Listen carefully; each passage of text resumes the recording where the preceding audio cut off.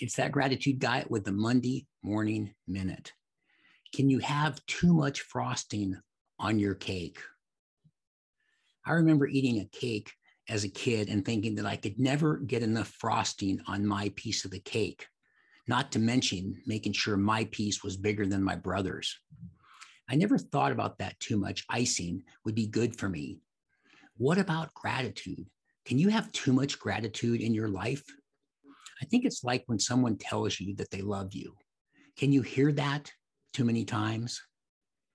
Can you send flowers way too often? I don't know, but I think the answer is no.